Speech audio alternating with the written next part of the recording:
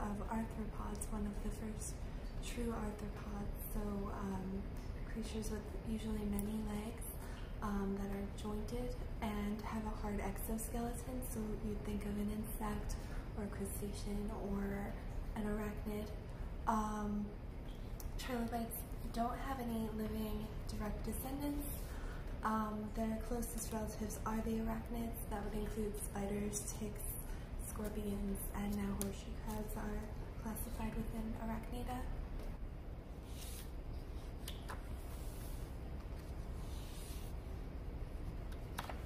The Calymene, Diacalymene.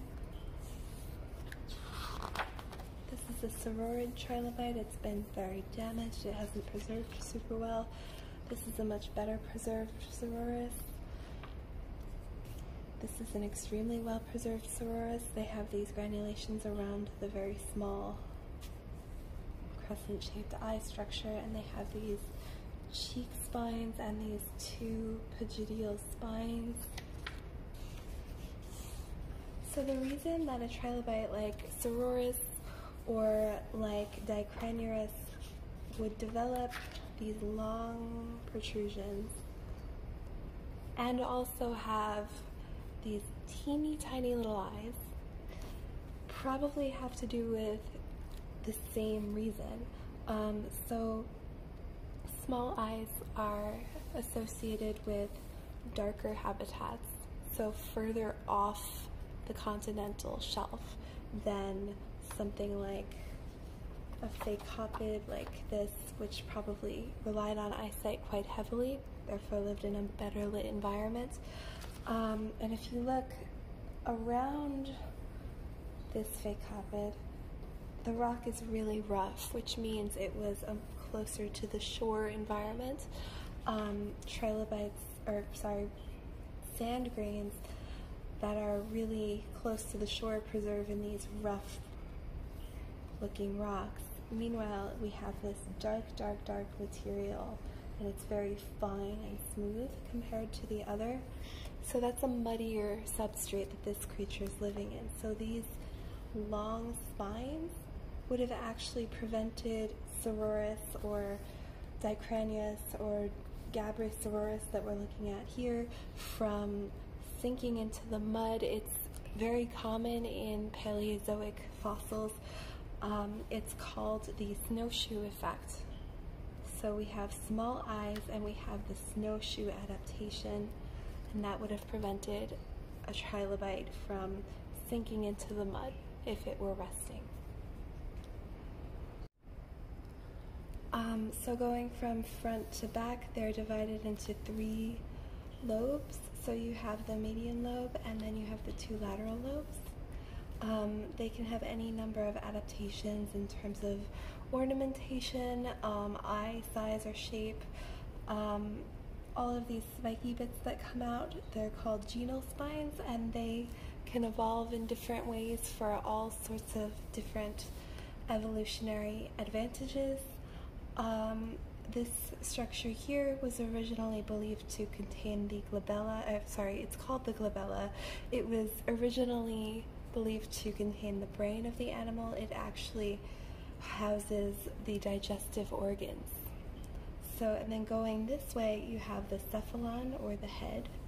In the middle, we have the thorax, just like with any other arthropod, and then at the very end, we have the pygidium. In this particular trilobite, the thorax and the pygidium seem to be one thing, but in other trilobites, it's a little bit more obvious, such as this is some type of, looks like an Eldredgeops, very simple looking phacopoid where the pygidium is fused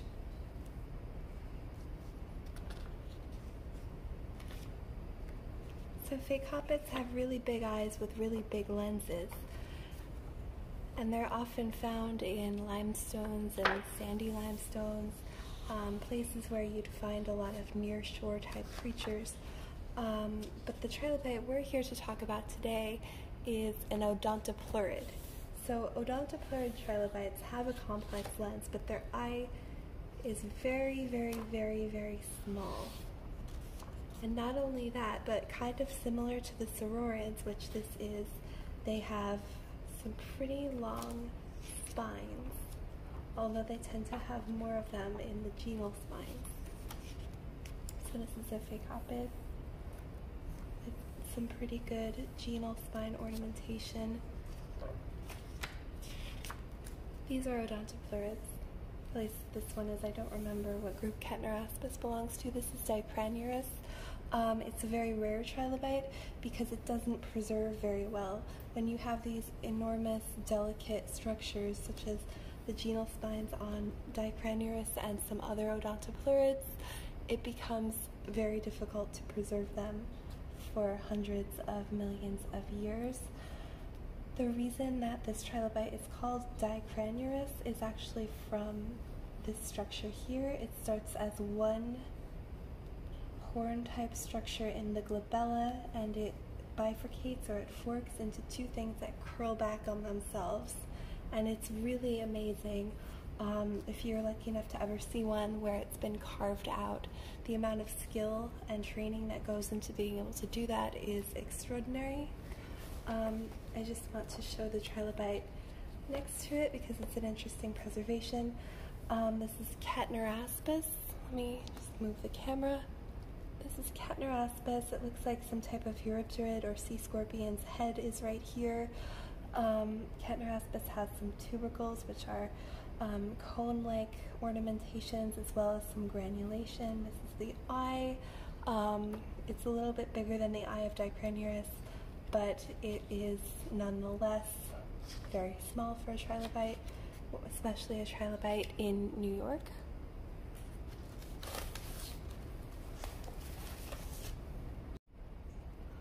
So please excuse the tripod from being in the shot. Um, for some reason today my tripod is giving me a little bit of agita. Um, so I have my watercolors and I have all sorts of pencils and paintbrushes here. Um, this is another really cool tool that I swear by. It's um, the Mono Zero eraser pen it really took me to the next level in terms of what I'm able to do with negative space and highlight. So today the trilobite that we're going to be reconstructing is Dicranurus monstrosus. We looked at a relative of it in the book.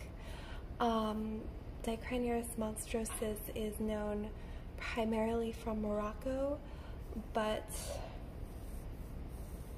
you can find Dicranurus fossils very rarely in New York State and in Ohio.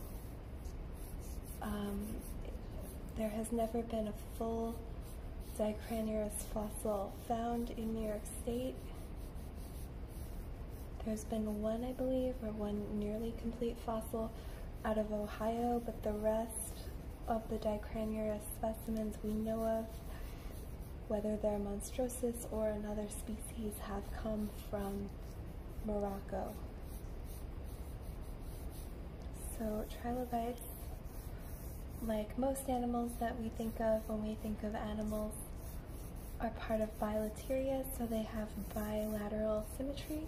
Just like us, we have a left side and a right side that are more or less the same, and Dicranurus also has 13 segments. So 1, 2, 3, 4, 5, 6, 7, 8, 9, 10, that's 10, 11, 12, and 13. So you don't have to have the exact angles yet, just mark off where those thoracic and pygidial segments are going to be. So Dicranurus has a very small eye, and it has a complex lens, but we're not getting into that yet. Its eye is here. Um, it has a kind of strange looking glabella with like a divot here, kind of like a scorpion.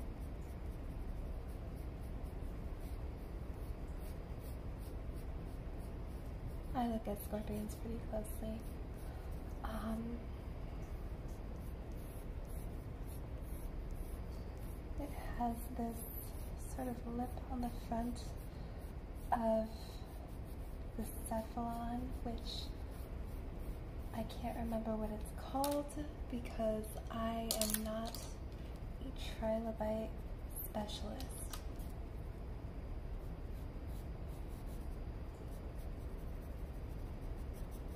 So we're going to start marking in where some of the shading is going to be.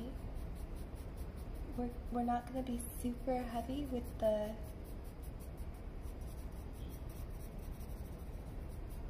with the pencil because we might add some color in.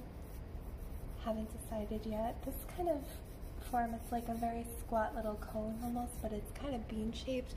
Um, I don't really know how to describe it. I'm not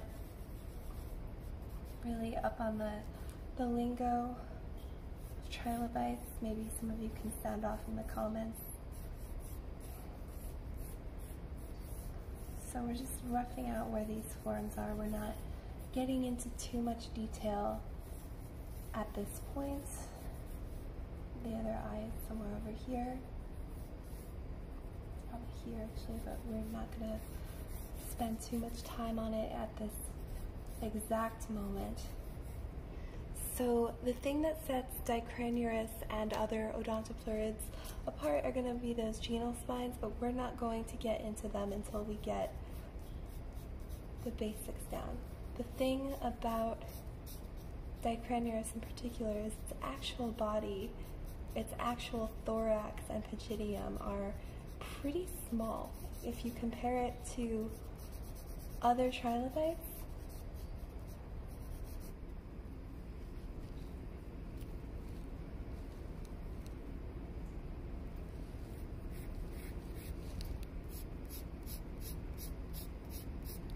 we're going to connect, make sure all of our genal spines are connected to the thoracic segment that they're coming out of and that they're completely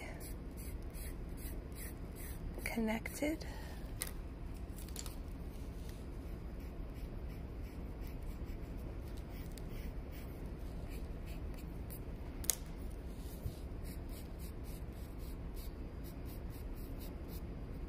We're going to treat these areas as negative, but I'm going to get into that in a minute.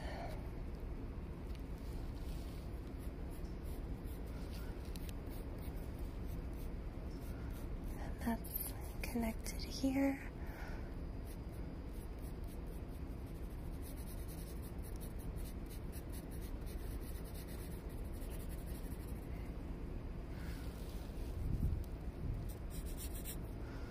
We're going to erase this area so that we can see that the genal spine is coming out of that thoracic segment. We can put a little dimple there.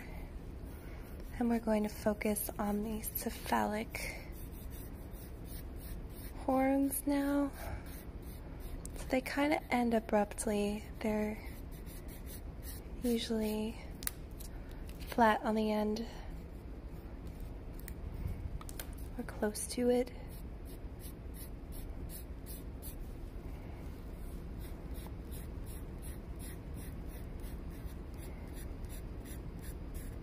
And they have a lot of like little curves in them.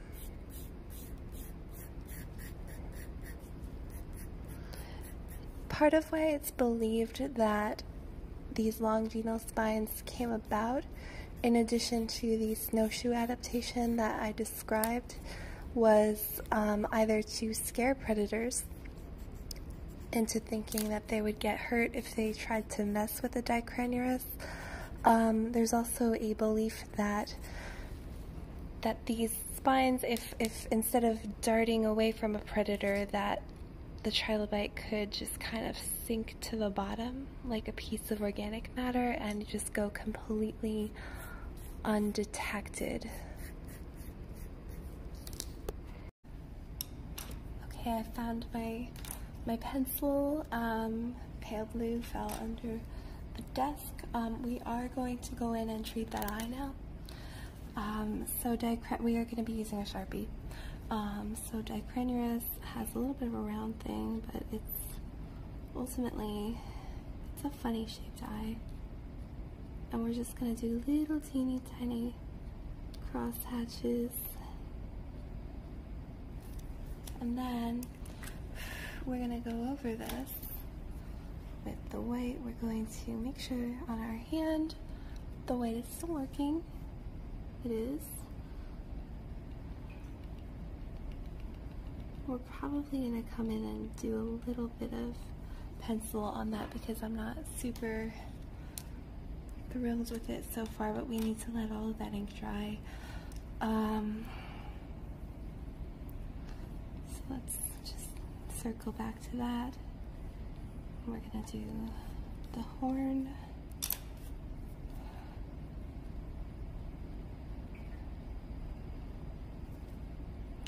Again, we have that outline, thin outline if you want to call it that, and then we have a, an outer highlight. Outer highlights are the unsung heroes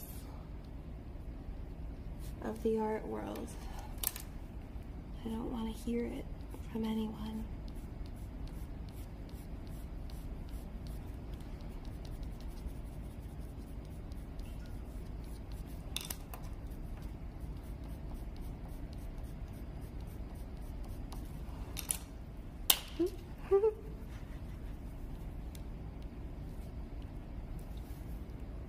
Sometimes the ink builds up on the pen and you just have to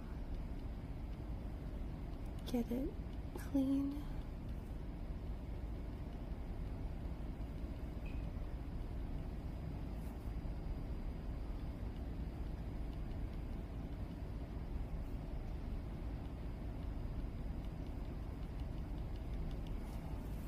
So we are going to try to bring out this area here, this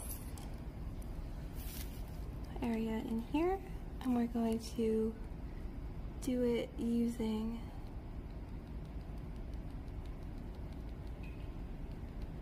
stippling.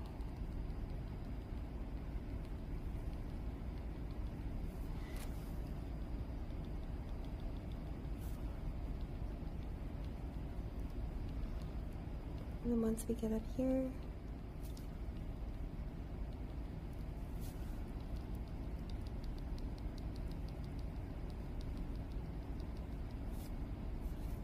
And if you have anything on the outside here, just clean it up with your white pen. They're very helpful. Um,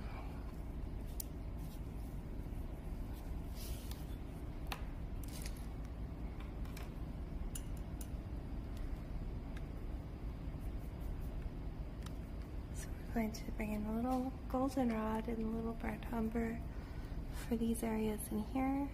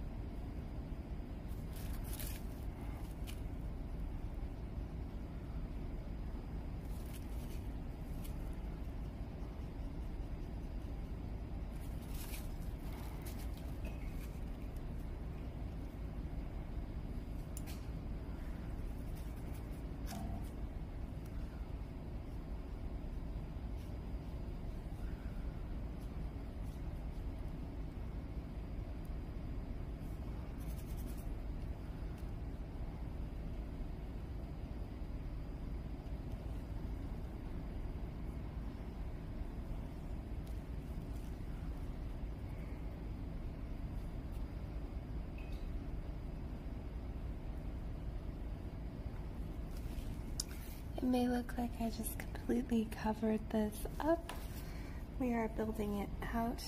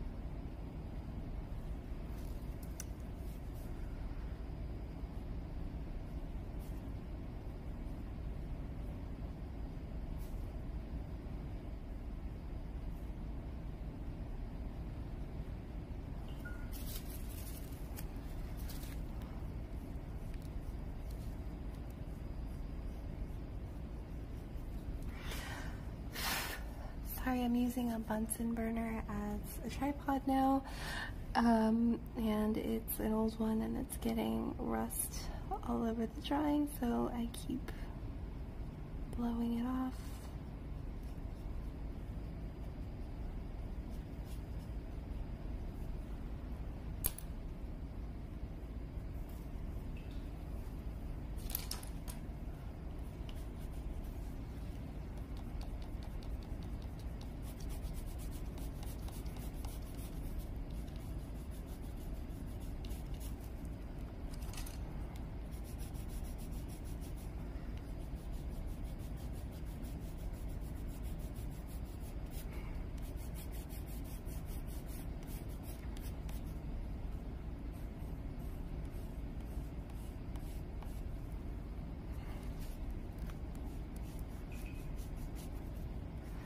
So these entire areas are going to be stippled over. So it's not the end of the world. But I didn't bring all of the supplies I needed to do this drawing. But it's close. Mwahaha.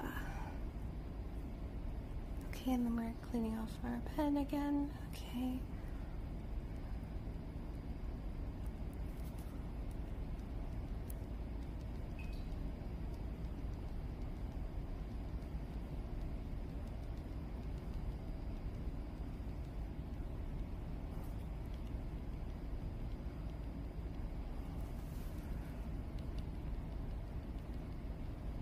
So I recommend that you, if you draw a trilobite using stippling, you stipple over the relief of its back in a few different places.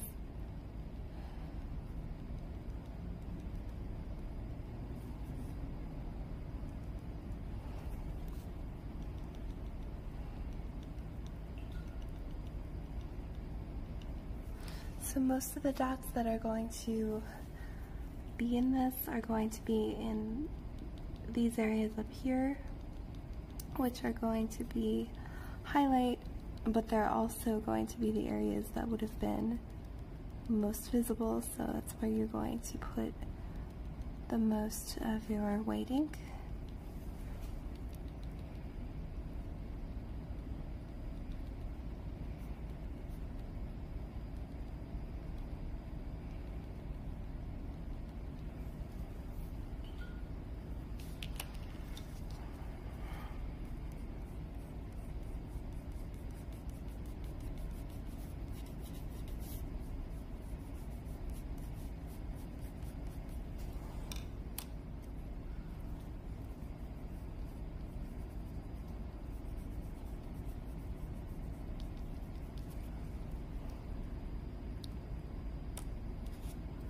Oops. And we clean off the pen again. We blow off the rest.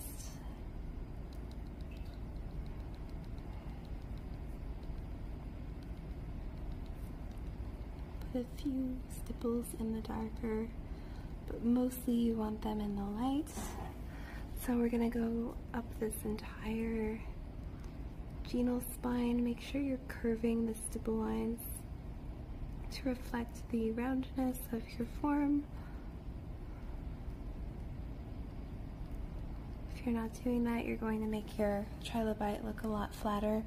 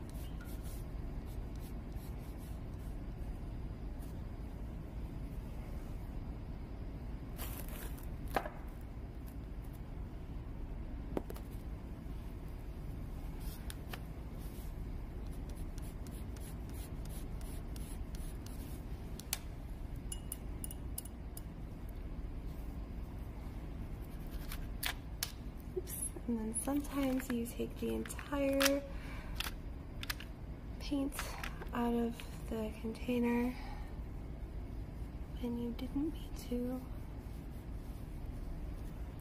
That's what I mean when I say that I am a messy painter. Really am. Just get any water droplets off the page aren't supposed to be there.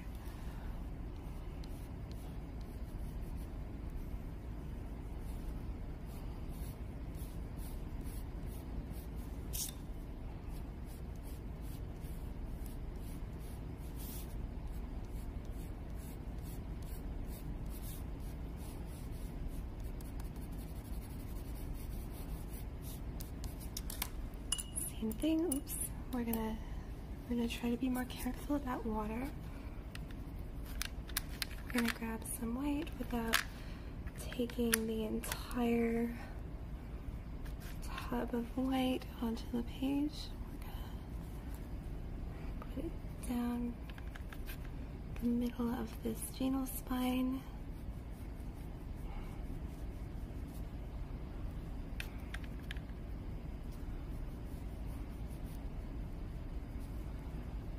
Same thing here, even though it's one that we washed um, for aerial perspective or hydro perspective, as it were, because it's underwater.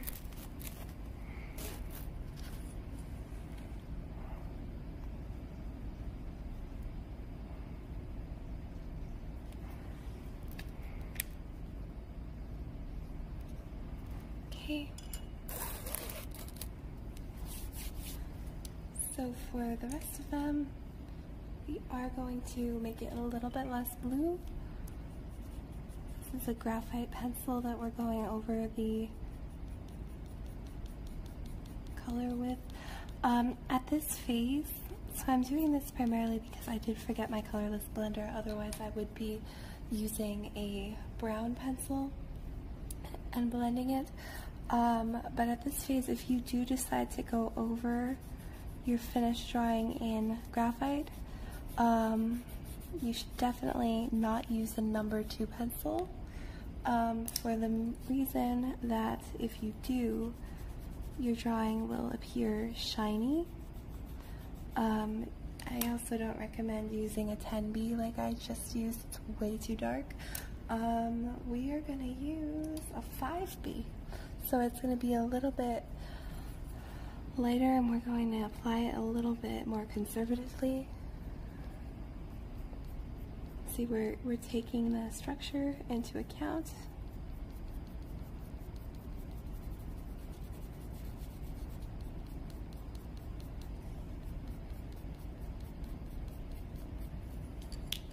we're going to blend that.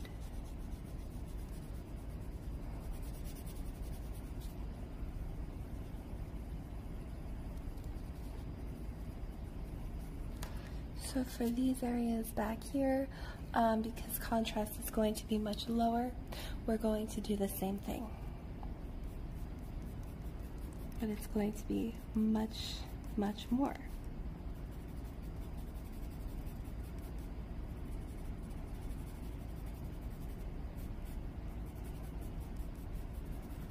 We're going to keep those webbings in mind like I mentioned before. And then that's probably going to be the barrier, sort of, not that there's going to be a super hard and fast barrier, but between the stuff that we generalize a little bit more and the stuff that we don't, that's going to be about the threshold.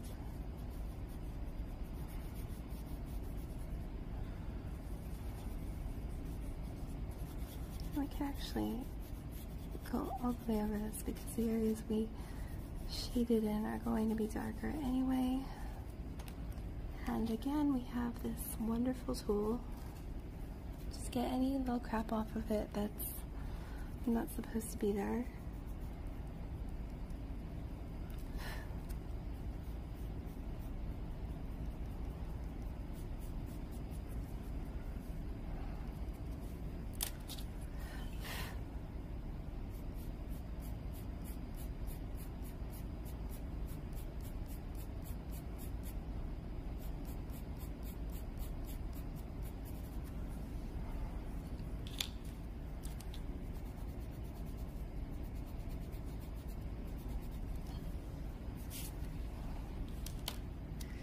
actually should be using a much lighter shade for what I just did.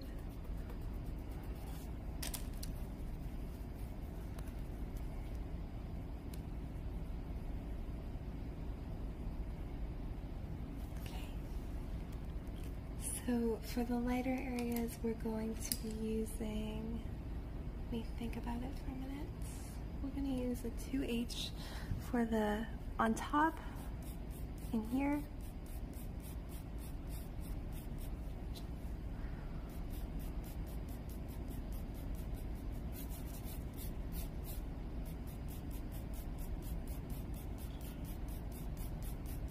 And then a darker pencil for the other areas. We're going to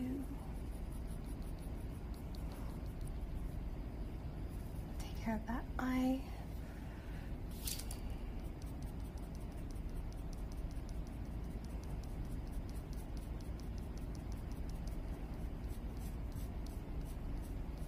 It's okay for your crosshatches to curve. It's actually something I recommend you learning to do if you don't do it. Um, not everyone does it.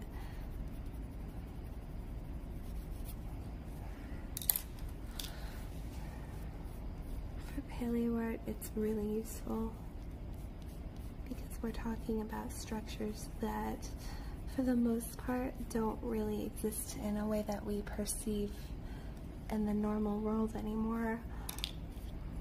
It's a 5B, I need my 2H. It's the same thing. Just creating structure.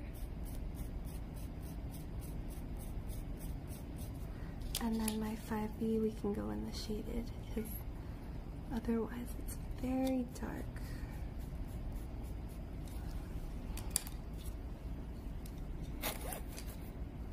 And we just keep going.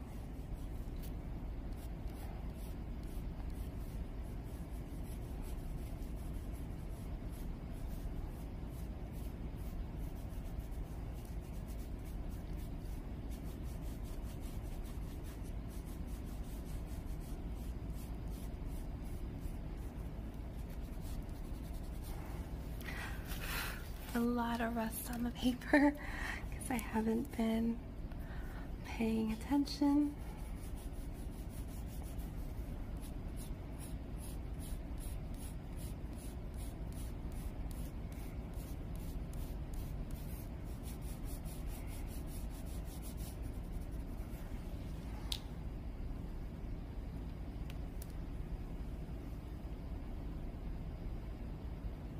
Uh, to each.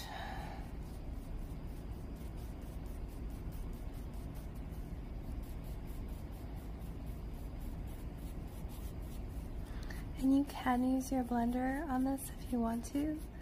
Um, I just don't want to be using my paperless blender until I need it. Um, you should be communicating that each one of these. It's like a series of beads almost. It's what you want it to feel like that that can move. Um,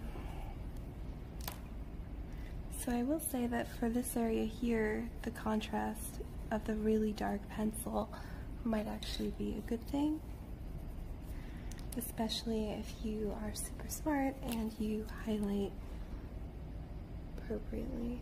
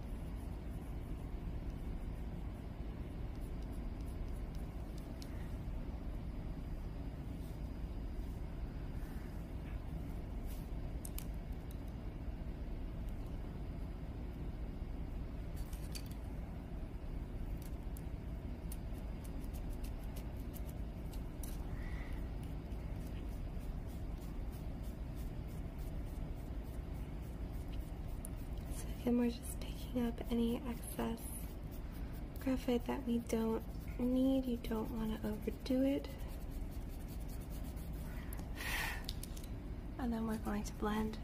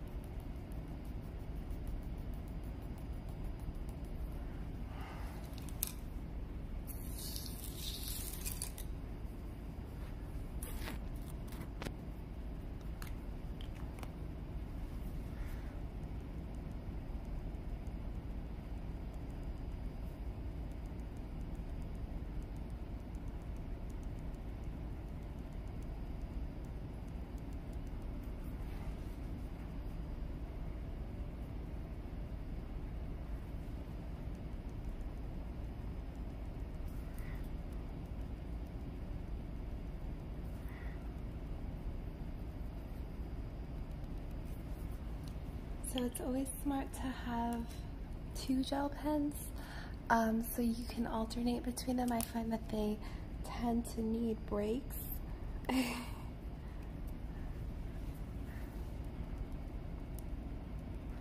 The one thing I did bring and I brought two thankfully.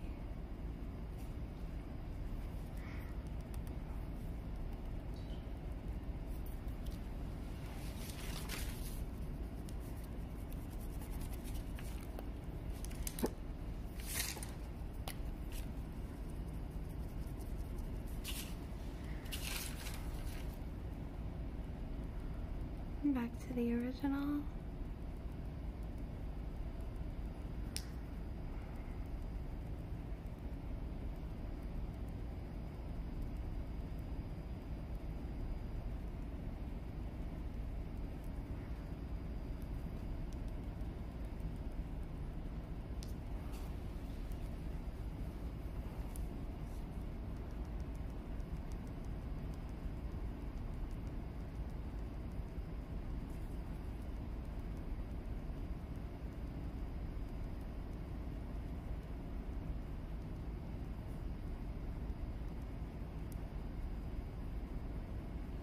So you just clean up if you want to with the white pen. Anything that you forgot to erase and then drew over in another medium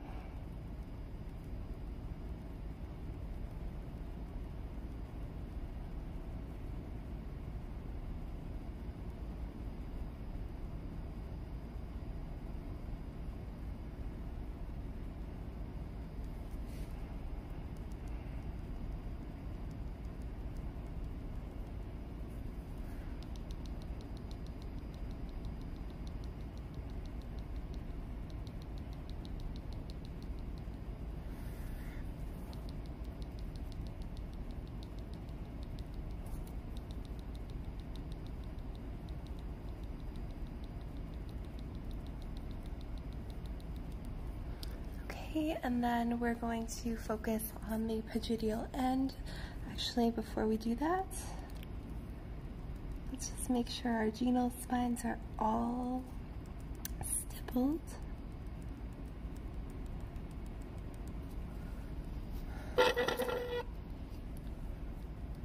And our thoracic segments.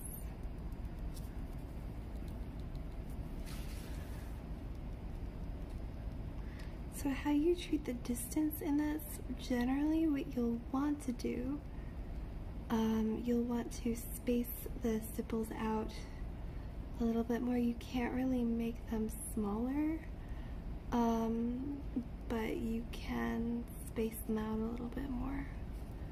So that's what we're going to do.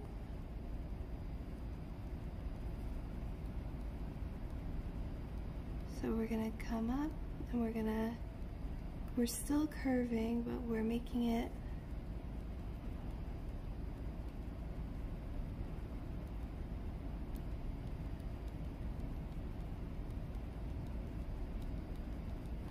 slightly farther away. So as you can see in the beginning, and we could actually even go in if we want to, we can add some more detail with this pen.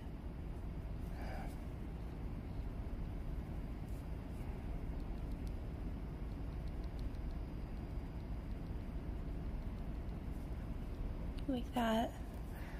Um,